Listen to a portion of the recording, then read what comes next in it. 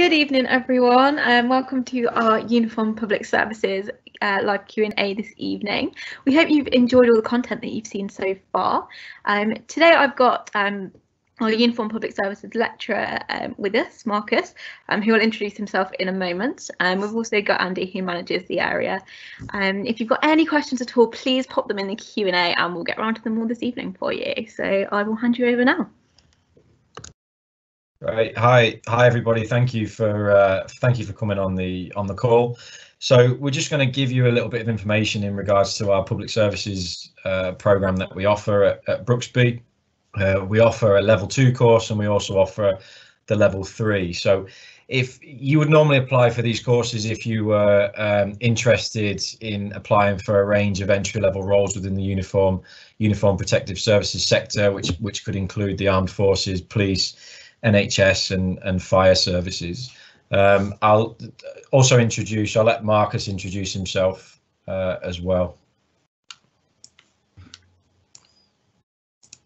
Hi everyone. Um, so yeah, as uh, everyone's already mentioned, my name is Marcus. Um, a little bit about myself. Um, I've just recently left the army. I've served eight years in the Royal Signals as part of the British Army. Um, I've been posted to numerous locations up and down the country and um, overseas. So there's been a real good bit of insight into how the armed forces works. Um, I've got some relatives working in the police force at the moment, so um, I can transfer skills from what I know and what they know into this course, and I am enthusiastic and um, hoping everyone can find some enjoyment as part of this. Fantastic, thank you. Um, right, we've not got any questions at the moment, so let's kick off with a couple of things that we get asked quite frequently um, as, um, of course, inquiries team. So um, a lot of people ask, um, so what kind of kit do they need and what do they need to buy before joining? Um, is there anything that you would expect them to definitely have? Um, or is there anything that we would provide for them? So we've got a, um, we've got I've just put together a, um, a, a, new list of, of equipment that students will need. So we, um, because there there is a practical, because there is a practical element of the, um, you know, of the course as well. We do have um, a kit list which consists of a, a polo, um, a uh, I think it's a half zip uh, jacket, shorts and socks for you to do your practical in, but also we have an optional equipment list as well, which would include like a, a hoodie, uh, a rain jacket and um, and others as well. So that is looking at coming to about 50 pounds per person, give or take. Um, but there's also, sorry, as I forgot, there's also some sort of cargo uh, type activity pant that we include with that as well. So um, what we would do with that is we, at enrolment we would have um, Jeff who who uh, is our kit supplier. He will be there with with uh, equipment for you to try on and then you can order that via the website after the enrolment fantastic thank you. Um, questions come in. Uh, what sort of proportion of the courses um, would you say would be practical versus in the classroom but this question the last one that I was in um, so the the it, it, would be it would be a mixture. I mean, with when um, with public services being based at the Brooksby campus, you you'll see that one of the reasons for that is because of our uh, facilities that we've got uh, in terms of our the, the space that we have. Um, or how many acres now, Meg? Have we have we got 812 or something like that? 850, I think. 850 acres as of land. So, for instance, for for the um, land navigation units that you might do in in public services, it's a it's a great space for you to be able to do that. Uh, but also other courses, other units that we would um, deliver in the program, such as uh, the preparation for for fitness testing. Uh, when you when you join the armed forces or, or any of the forces, uh, we have our state of the art strength and conditioning gym. Uh, we have the the sports centre as well. So we do try and get use of the practical facilities as much as we possibly can without negating the the need for for theory. So it's about a 50-50 split, give or take, as well. Great, thank you. Um, could we possibly talk a little bit about um, the different sectors within the public services that students could go and work in and different career options? Yeah, of course. So um, the, our, our, previous learners for example, that the, the they they're looking at getting into the police. The majority of the learners want are wanting to go into the armed services, which is um, you know our our lecturers, our experience as Marcus introduced himself as as um, has just left the the Royal Signals. Marcus. Royal yeah, Signals? that's correct. Yeah, yeah, just trying to double check. Uh, and we also have another member of staff as well, a guy called Steve Nolan that um, that is an ex-Royal Marine. So um, very, very experienced lecturers. So uh, which is great for the majority of our learners because they want to go on to the armed forces. But also um, we we have students that want to go into the Royal Navy, uh, fire and rescue services, and also uh, we've had a few students that want to go on to do um, paramedical science at, at, university and then go into the paramedics after they've studied uh, a public services course with us.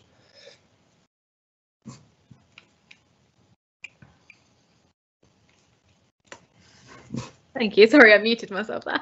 Um, thank you for that. That's fantastic. Um, so, um, people often ask, um, do they have to do the level two before they do the level three, or can they go straight into level three um, after school? And like, what are the entry requirements? Yeah, so entry requirements onto the um, so just a little bit about the the study program. So they're, they're both with with Pearson uh, as the awarding body. They are BTECs. Um, the level two is a diploma in public services, which is a one-year course, but also the um, the level three is a national is a national diploma in public services, uh, or at, for next year uniform protected services, and and that can either be a one or two year course. So you would register onto the diploma at level three, um, and then in the second year you would top up to the extended diploma. Um, entry requirements for level two are four GCSE level three grades. Uh, we do ask for a sufficient level of fitness and a, and a commitment for entry into one of the armed, armed uh, uniform public services as well. Um, and the level three are four GCSE level four grades. And again, with a sufficient level of fitness and commitment, because ultimately the course is designed for for those learners that want to go on into the uniform public or protective services. So we do ask for that as a as a stipulation as well.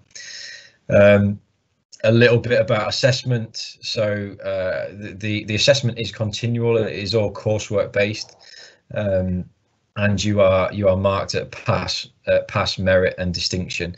Um, yeah.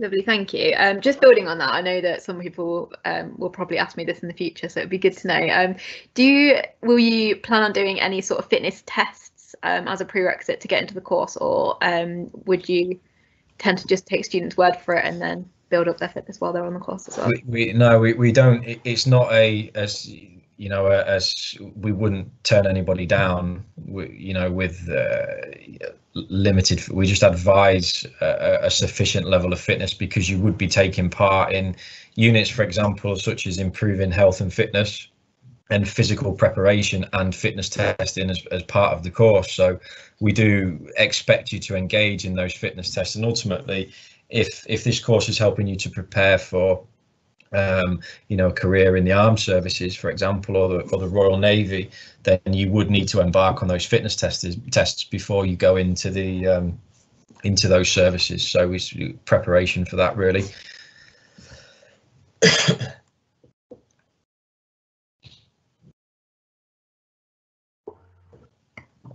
muted, Meg.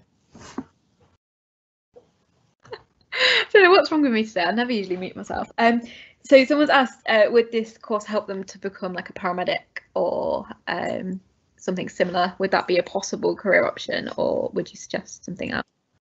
Yeah, yeah. I mean, people have people have come onto the course. We have had students that have come onto the course that that want to go into the paramedics. So they've done a either a level two um, and going on to the level three in in uniform public services, and that has prepared them to um, then look at further, sorry, at higher education into into paramedical science. So usually they um, people that want to go into the paramedics would have to go to university to get that qualification as well. So this would definitely be a, a, a basis for them or a foundation for them to then build onto that at HE and then a career in, in paramedics. Great, thank you. Um, something else we often get asked is um, what if students don't pass their GCSE grades at the correct grade? Um, can they continue those courses alongside the course? Um, and also, particularly this year, I suppose a lot of exams are getting cancelled, aren't they? So Yeah. um, we often get people being quite worried about that. Um, so if they, for any reason, didn't get their maths and English grades, could they do that alongside the course? Yeah, so maths and English is built into the into the timetable. So, I mean, ideally, uh, it would be great for you to passed your, your maths and English because they will go uh, towards your four entry requirements if if you want to do level three. And um, but the, the I would recommend that you strive to get your English and maths uh, because it, it would give you more time to be able to focus on your um, vocational qualification. Um, however, it, it's not a, a, deal breaker if you don't get your English and maths. You, would still be able to access the course, but you would um, that would be built into your timetable. The only thing I would say is when when your mates are, are not in English and maths, you will be. So it's a bit of a carrot for you to uh, to get that those qualifications. Yeah, definitely an incentive to work hard now. um, so someone has asked, do you have any like sports extracurricular kind of stuff that students can do on the side? Obviously, yeah. So the pandemic. Yeah. Um, excuse me. Yeah, the um, pandemic has excuse me has put a bit of a hold on um, on uh, on sport and activity at the moment. But um, yeah, with with the again the provision just just to make clear that the public services provision will be at the Brooksby campus next year, and as I've said previously, the, um, the facilities that we've got are, are, are you know are, are excellent facilities. So we do have enrichment uh, where you can you can be involved in uh, the football team. You can be involved in Leicester Tigers rugby if you want to. You can be involved in Leicester City Women's uh, as well as a netball academy that that we offer at the college and and the the sport is all built into your timetable. Uh, so, for example, between 12 and 2 on a Monday, you'd have the opportunity uh, to to take part in a training session for whatever sport that you wanted to do and then all the fixtures would take place on a on a Wednesday afternoon, which is college wide, so everybody would have access to to those fixtures. So if you're doing UPS and you're a football, you like to play football, you, you could be involved in the in the football team for the college as well. Um, if there isn't any sort of sports that, that you are interested in, any team sports, we do have a, a strength and conditioning gym, which you'd be able to access on a on a Wednesday afternoon. We have a two hour slot on a Wednesday afternoon where you can go up and um, and train under the guidance of, of some of our lecturers that have got master's degrees in strength and conditioning. Fantastic. Uh, I suppose that crossover is really, really helpful with the, uh, the sports side of things. Definitely. Um, so someone has asked, uh, do you get any students on the course who are older, so uh, maybe non-school leavers? Um, would the course be suitable for them as well? Maybe if they wanted like a career change or something like that. Yeah, absolutely. There would be um, there would be a you know any student is welcome. The only sort of thing that we that you'd have to consider is the funding requirement. Um, if it's your first level three program, I believe it, it will be funded. Um, but there, yeah, there is sort of funding stipulations that you would have to consider because, for example, students 16 to 18, their, their the course is fully funded. But once you hit a certain a certain age, I think it's um, 19 to 24. If it's your first level three, it's it's funded. But anything over that, you you would have to look at getting um, funding for that course. Yeah, definitely. Um, there's something called an advanced learner loan that you can get. Um, if you are 19 plus and you have already got a level three, or if you're over 24. Um, and that literally works the same as a student loan. So um, you only pay it back once you are you've finished the course and you're earning a certain amount. Yeah. Um, so that's quite nice. Um, doesn't affect you in, in the way that a normal loan is like a student loan. Um, oops, sorry. My computer making loud noises. Um, lovely. So um, I think we've covered a lot of our frequently asked questions. Um, maybe if we could just cover, um, like, do we get a lot of students from all over the county? Um, do people tend to travel? Because I know a lot of people want to do our courses, but um, if they live a bit further away, they can. Um, it can often put them off. Maybe sometimes. Um, talk about how many, what proportion of students you would say do come in to travel. Sure. Yeah, I mean, we, we are due to the sort of location that, that we're based. We are quite lucky that we have a um, a fleet of minibuses that are able to to go out onto the um, Leicestershire and you know, up to Nottinghamshire as well into those areas to pick students up. We we have a set of fleet of minibuses that follow um, bus routes. So if there is anybody sort of further afield that would require transport to the college, then uh, there is a transport section on our website where you can find out further information for that. Um, also, if, if you're from even further afield, from a national uh, point of view, we do have accommodation available at the college. Uh, there's a number of accommodation blocks. Um, and again, all that information is found on the website. And um, I would advise you if, if that is something that you want, um, if or if you need accommodation due to wanting to come on the course, then you you book that relatively soon because it can get booked up quite quickly.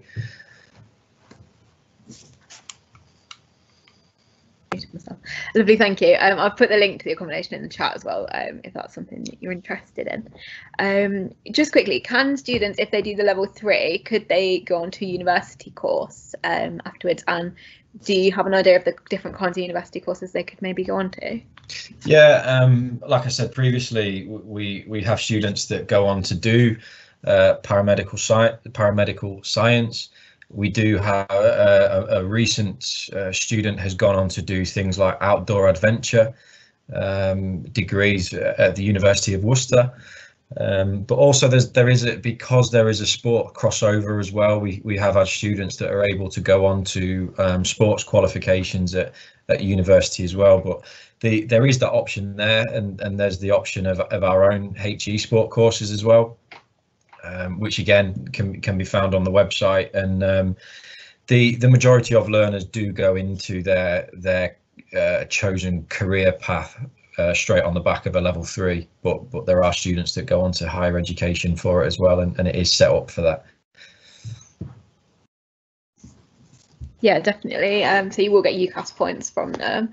Um, just quickly, we've not got too long left, um, but could we talk about um, how many weeks student, uh, how many days students are in college per week? Um, I know we don't really have the timetable set just now, um, but what students tend to do outside of that time as well. Um, do they tend to get some work experience? Is is it are they able to get work experience around their college hours? Yeah, work experience is something that we do encourage. So, uh, an example of a level three program is is three days a week. Um, so you'd be you could be in college Monday, Thursday, Friday, for example, and then on a Tuesday, we would allocate that as a work experience day for you, where we would actively encourage you to to find a suitable work experience where placement wherever that may be. Again obviously within the current pandemic it's it's put a bit of a put the brakes on a little bit for for students uh, wanting to gain work experience but there are students that are still able to access work experience if the uh, employer or the provider allow um, if if you have trouble finding a, a, work placement, we do have members of, of staff at college that can help with that as well, and and um, yeah, more than supportive to help you find that. Yeah, definitely. I mean, there's some specific members of the staff in our student services team, aren't there, that tend to help with that kind of stuff. Um, and they'll like risk assess your chosen place, um, which is quite helpful for you as well. Um, okay, let's see if we've got any more questions. Um, so um, could we go into a little bit more detail about what content the courses cover? So um, modules um, that they might cover within the courses. Yeah, um, Marcus, do you want to come in with some of the modules that you're currently teaching at the moment? Yeah, so at the moment I'm delivering the um, land navigation module, um, the level two, which involves at the minute, because obviously restrictions, uh, delivery and feedback from myself, so my level twos um, have a rough terrain. Um, hopefully, once the restrictions lift and we're back in the classroom, we'll be out on the area and obviously put what we've learned into practice. Um, that goes for the physical preparation module, which um, again, um, we want to learn about the um, fitness requirements to join the relevant public service that the individuals who come and join our course are aspiring to move on to. Um, I'm also delivering uh, health and fitness, um, public service skills, um, command and control, how to manage specific incidents depending on what role you are within whatever organisation again you aspire to join.